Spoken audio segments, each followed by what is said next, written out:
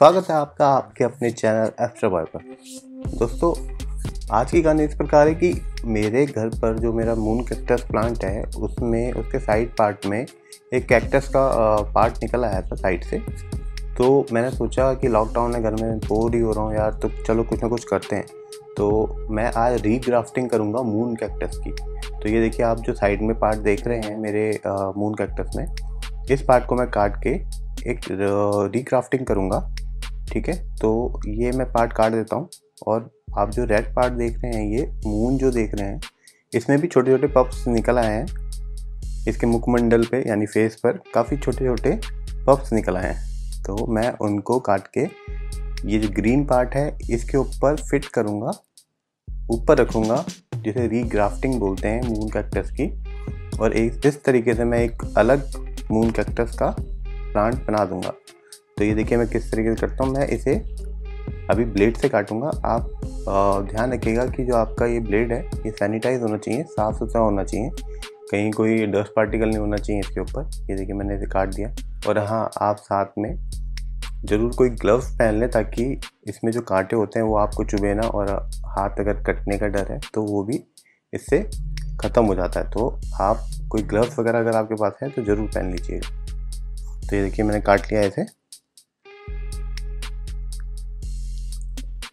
अब क्या है कि आप ये जो रेड पार्ट देख रहे हैं, जो मून देख रहे हैं, इसके ऊपर छोटे छोटे जो पप्स हैं साइन बोलते हैं। तो इसको भी मैं काटूँगा और ये जो मेरा ग्रीन पार्ट है, इसके रिंग ऑफ़ वेस्कुलर बंडल मतलब जो इसमें अभी आपको मैं काट के दिखाता हूँ ये, बीच में एक सर्कल होगा ये देखिए वाइट ये बीच में आपको सर्कल जैसा दिखाई देगा। पहले तो इसे बिल्कुल प्लेन काटना है, आड़ा तिरछा नहीं, और ये देखिए, ये जो बीच में आपको दिखाई दे रहा है। इसे बोलते हैं रिंग ऑफ़ वास्कुलर बंडल इसी की सहायता से खाना जो है इनकी पूरी बॉडी में पहुँचता है, हर पार्ट में पहुँच जाता है। तो यही है जिसकी वजह से खाना ये इधर से उधर, नीचे से लेके ऊपर तक पहुंचाते हैं। मिट्टी ज़मीन से लेंगे और ऊपर तक पहुंचाएँगे।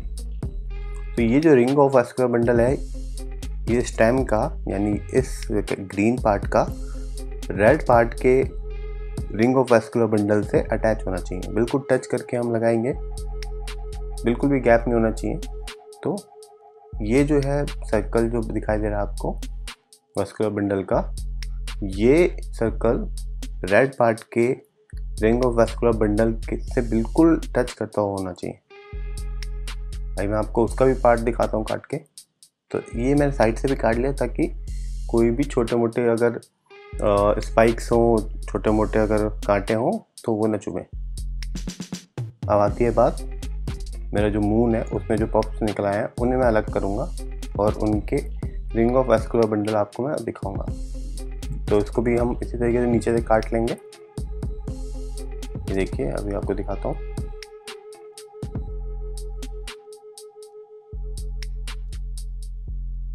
और ये देखिए, मैंने ये जो कैक्टस है, उसको मैंने ज़मीन में अपने छोटे से पॉट में लगा दिया है और ये मेरे पास जो पप था, इसको मैं नीचे से काटूँगा। और उसके वो जो पार्ट आपको दिखाई दे रहा है, जो मैंने प्लांट बनाया है और अपने पॉट में लगा दिया है, उसके ऊपर इसको फिक्स कर दूँगा। ये देखिए, नीचे से काटना है और बड़े ध्यान से काटना है, हाथ भी कट सकता है तो ग्लव्स अगर आपने पहन रखा है तो बहुत बढ़िया रहेगा। ये बिल्कुल साफ़ सुथरा कटना चाहिए, कोई भी डस्ट पार्टिकल नहीं होना चाहिए। और आपको ऐसे काटना है ताकि इसके भी रिंग ऑफ़ वस्कुलर बंडल दिखाई दे।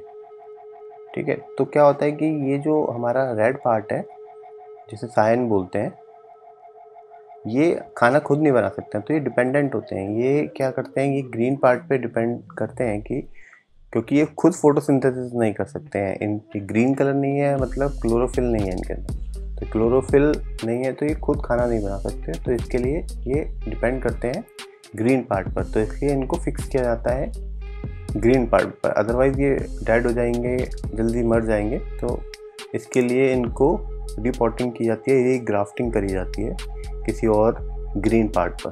तो मैंने जो ये ग्रीन कैक्टस था मेरा, जो ये साइड में निकला था, उसको मैंने काट लिया था और उसके ऊपर ही इसे फिक्स कर दूँगा। देखिए, बिल्कुल गैप नहीं होना चाहिए। ये देखिए, मैंने इसे फिक्स कर दिया है।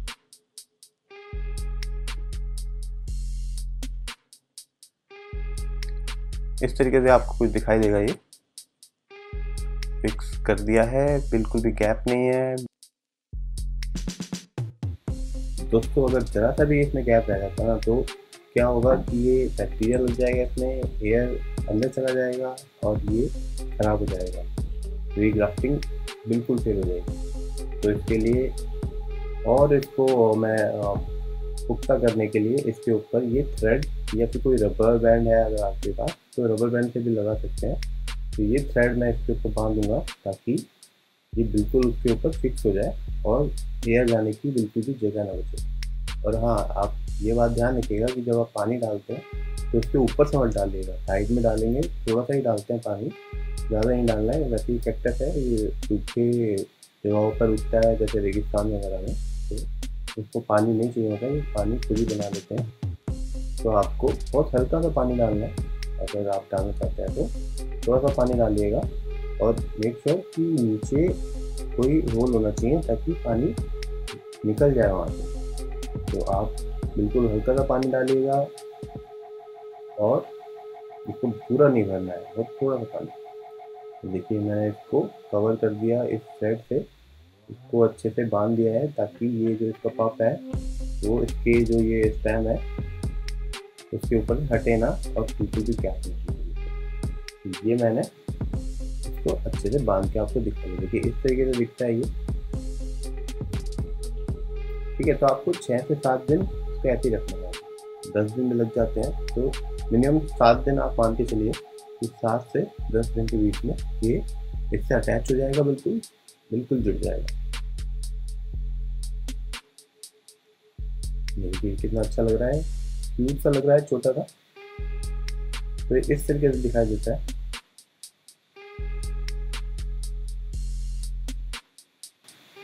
तो दोस्तों, ये था तरीका कि आप कैसे घर में रीक्राफ्टिंग कर सकते हैं मून कैक्टस प्लांट की।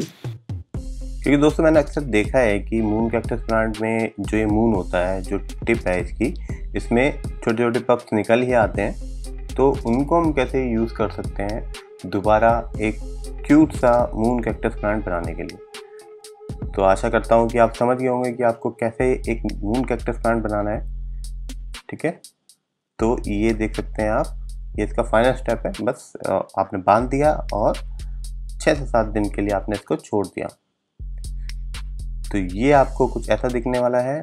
बहुत ही क्यूट लगता है मून कैक्टस प्लांट बहुत ही अच्छा लगेगा अगर आप घर पे बनाएँगे इसे। तो बहुत इजीली बन जाता है। तो ये देखिए, ये इस तरीके से कुछ दिखता है। तो आशा करता हूँ कि आपको मेरे द्वारा दी गई जानकारी पसंद आई होगी। अगर पसंद आई है तो फटाफट से मेरे चैनल को लाइक कर देना, सब्सक्राइब कर देना और शेयर कर देना। और साथ ही साथ ये जो बेल नोटिफिकेशन का जो ये बटन है, इसको दबा देना। देखो, इस बटन को दबाओगे, तभी आपको अपडेट्स मिलती रहेंगी कि हाँ मैंने एक नई वीडियो डाल दी है। तो अगर आप उन वीडियो से फ़ायदा उठाना चाहते हो, चाहे वो ऐप्स की हो, चाहे वो किसी और इन्फॉर्मेशन की हो तो बेल नोटिफिकेशन बटन को फटाफट से प्रेस कर दो दबा दो यार फटाफट से। तो आज के लिए इतना ही। मिलते हैं एक नई वीडियो में, एक नई इन्फॉर्मेशन के साथ। तब तक के लिए बाय बाय टेक केयर और हाँ जय हिंद।